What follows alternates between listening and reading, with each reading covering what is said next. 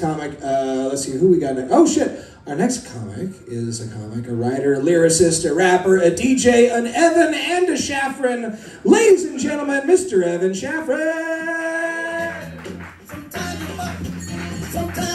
Yeah, Sunday punchline. Keep it going for your beautiful host.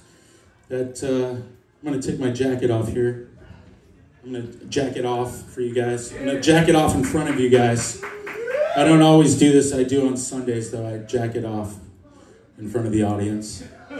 Um, do you guys like Dunkin' Donuts? Big fan. I'm a big fan of Dunkin' Donuts. I grew up on the East Coast. At Dunkin' Donuts, yeah, a lot of East Coasters here. All right. Um, yeah, a lot of a lot of Dunkin' Donuts. You know, you, you go in, you order your coffee, uh, you tell them how you want it, they make it for you. Not like Starbucks. If you you know you, you have to make it yourself. There's like cream that's been sitting out all day over there. So my dad goes into Dunkin' Donuts and he hands him his mug, reusable mug, because we like to you know save the world, one cup of coffee at a time. Cream only. Hands him the mug and the lovely person behind the counter hands him back a mug full of cream. And this is a true story. Um, so he takes a sip. He goes, "What? What, what the fuck? I just drank a bunch of cream." So he goes, "I'm sorry. Uh, I, you gave me just cream. I think you accidentally gave me cream only. You said cream only." Uh, anyway, I'm just, I'm never, never ceases to amaze me the the genius of people that work at fast food restaurants. You don't need a high school diploma to work there. Um, you don't need one to work here either, but uh, I mean here on the stage. You might need one to work back there. I don't know, but um, we don't need them. Actors don't need them, but you definitely don't need them to work at a fast food chain. Uh, my dad also told me he uh, is a big burger fan. He went into Burger King to get a two for one Whopper special. So he asked them to put the Whopper together and they said they I, I, we can't do that i'm sorry he goes why can't you do that? Why you just put them together. There's well there's no button for that. There's no button for that? Holy fuck. Anyway uh, it's pretty much the same way i feel about people on the highway who don't signal or who drive slow. I don't get angry very often but when i do I want to drive my car into people. I, I don't because I like my car um, and I don't want to hurt anybody. But, but it definitely aggravates me to the point of insanity. Um, some people's stupidity. I, I've done a lot of stupid shit, don't get me wrong. I am not perfect by any means. Uh, but I do feel like, you know, when I'm on the road with my Dunkin' Donuts, I feel like I am the best driver on the road. I don't know if anyone else feels like they're the best driver on the road whenever they're on the road. No, no one. I do. I, maybe that's just something I got to work on. But someone, one person, maybe that was a pity clap. Um, could be.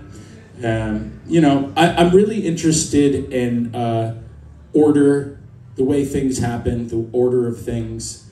Uh, I noticed the other day I was called in alphabetical order and that to me is something that really needs to change in the world. My last name is an S, it's Shafran, so my entire life I've been in the middle towards the end. And there's a lot of S last names. It's like, you know, SA all the way to SH. There's a lot of S names in there. So it's a lot of waiting. I don't like to wait. I fucking hate lines. Anyone else hate lines? Yeah, lines are terrible. I don't even like cocaine lines because there's fentanyl in them now. So it's true. Um, you know, the thing about alphabetical order is it just it's somebody whose last name started with an A must have been like, this is the way it's going to go um, first. My name starts with an A, it's the first letter in the alphabet, done. And then the Z person over there was like, you're a fucking cocksucker. Uh, my point is, is that why why don't we start with Z? Why don't we start with like you know birthdays? Sometimes you're in a room, someone goes, we're gonna figure out how to split this room up. Raise your hand if you were born in January. You know, January people, go over there. You know, it's just, it's not right. We should do it based off whether people are ugly or really attractive. I think that's the best way to do it because then it's really easy. Then we get to see too how people view other people physically. You know, how, how do you see this person? You think that person's ugly? No, that person's ugly. You know, just an idea. Also, I think it's really interesting. They say in 500 years there'll be one race. I can't wait. You know how sexy we're gonna be?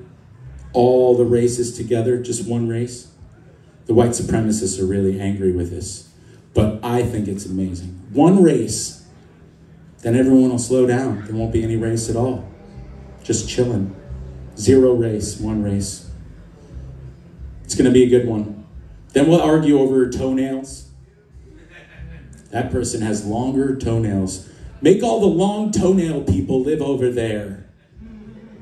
Make all the people with four toes, uh, all the people that were born with deformities, they're still going to have to live over there. We're fucked up. Humans are fucked up.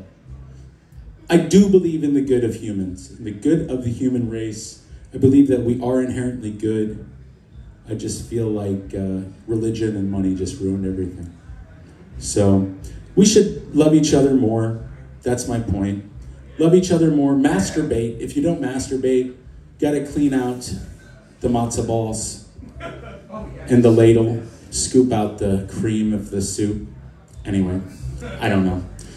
Trying things. Uh, thank you guys. Uh, my name is Evan Shafran, and I really appreciate you all. Thank you. Happy New Year.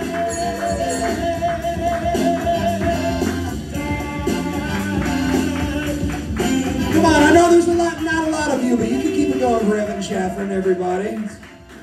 Not hard to clap for people, right?